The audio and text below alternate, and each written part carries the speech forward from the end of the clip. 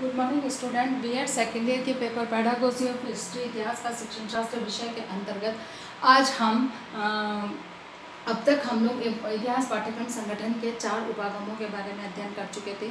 सगेंद्रीय उपागम प्रकरण उपागम कालकम उपागम और जीवन गाथा विधि। हम इन चार विधियों के बारे में अध्ययन कर चुके थे। आज हम अ, कुछ तीन दो तीन विधियाँ और हैं जिनके बारे में अध्ययन करेंगे जिनमें सबसे पहली है प्रतिगामी या प्रतिवर्तन विधि।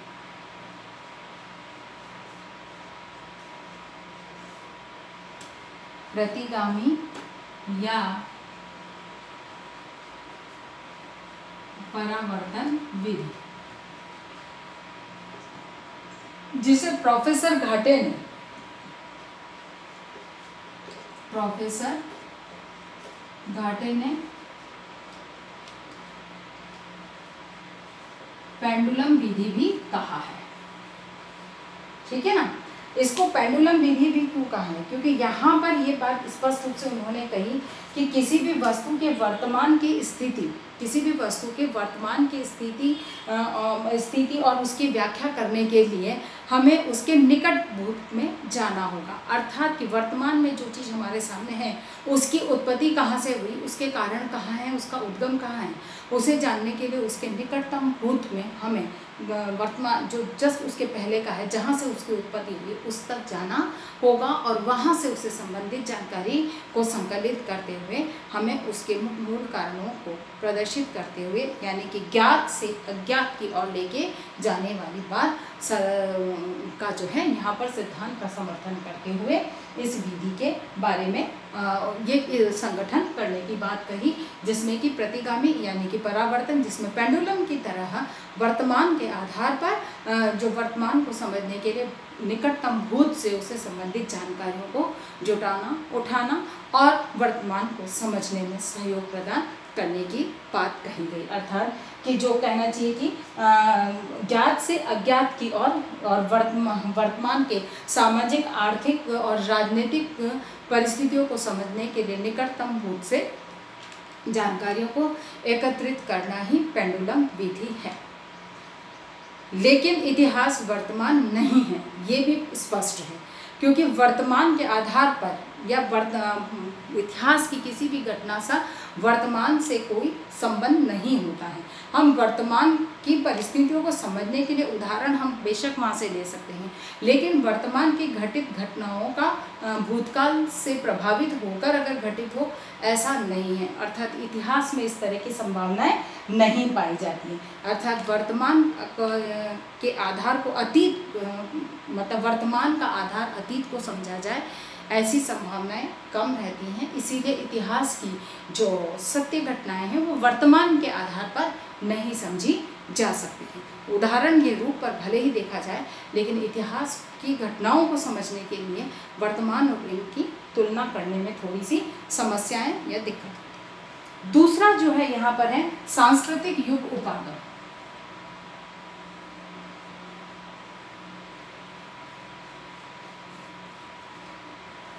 सांस्कृतिक युग उपागम। यानी कि ये वह सांस्कृतिक युग उपागम जिसके अंतर्गत संस्कृति का विकास और बालक के विकास क्रम को समान या समतुल्य माना जाता है। कैसे? कि जैसे बालक प्रारंभिक काल में बालक की मानसिक क्षमताएँ कम होती हैं सरल चीज़ों को समझ पाता है, गूढ़ या कठिन बातों को या तथ्यों को अभी समझने की उसकी मानसिक क्षमताएँ नहीं होती हैं। तो वही चीज़ है कि संस्कृतियों का विकास भी धीरे धीरे होता है। इसीलिए इस उपागम के अनुगम ये माना जाता है कि इस उपागम के जो प्रतिपादक थे वो थे स्टैनली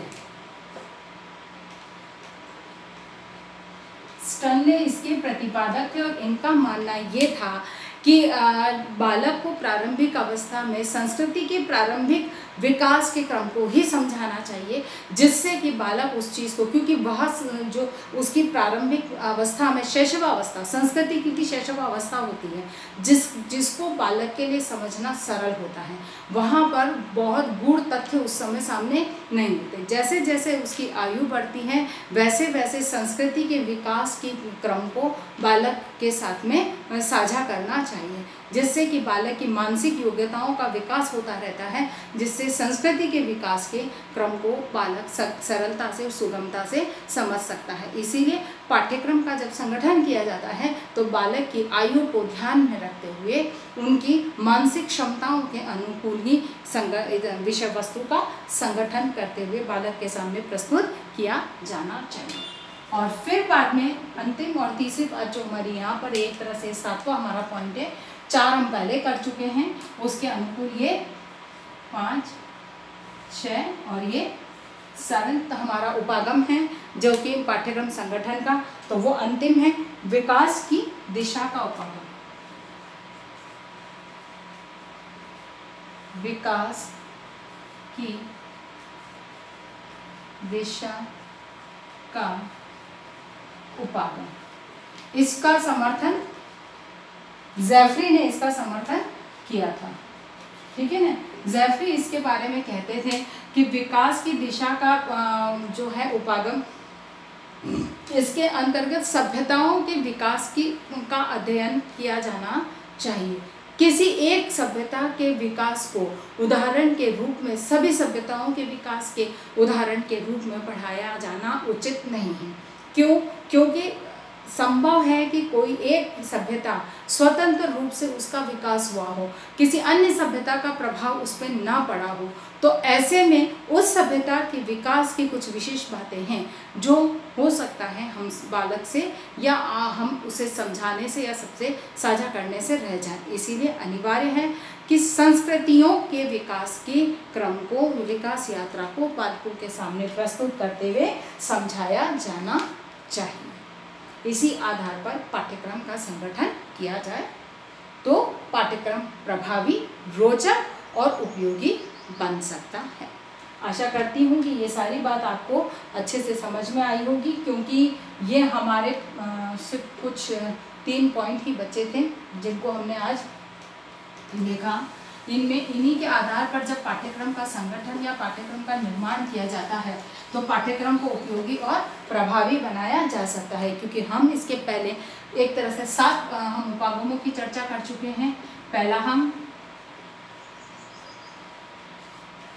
संकेंद्रीय उपागम, दूसरा कालक्रम उपागम तीसरा प्रकरण चौथा जीवन गाथा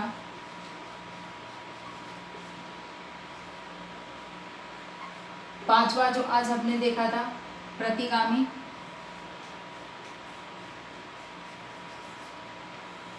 प्रतिगामी या परावर्तन,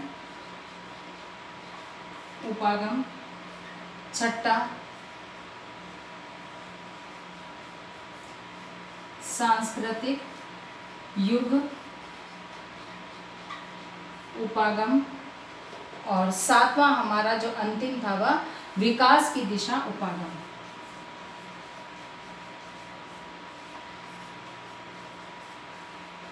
दिशा यानी कि पाठ्यक्रम संगठन के निर्माण में या पाठ्यक्रम का संगठन करने में इन सात उपागमों की चर्चा हमने अभी तक पाठ्यक्रम में की, जिसके आधार पर पाठ्यक्रम का निर्धारण या पाठ्यक्रम का संगठन सुव्यवस्थित ढंग से किया जा सकता है।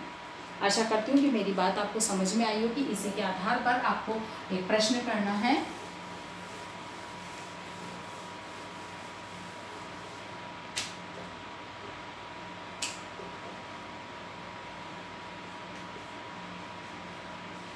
इतिहास पाठ्यक्रम संगठन में प्रतिगामी उपागम सांस्कृतिक युग उपागम व। विकास की दिशा उपागम के योगदान को समझाइए। ठीक है? अपनी बात को समाप्त करने से पहले कोविड नाइन्टीन की इस महामारी के दौर में अपने आप को सुरक्षित रखें। बहुत अधिक आवश्यकता हो तो ही घर से निकलें। घर से बाहर निकल रहे हैं तो तीन बातों का ध्यान रखें।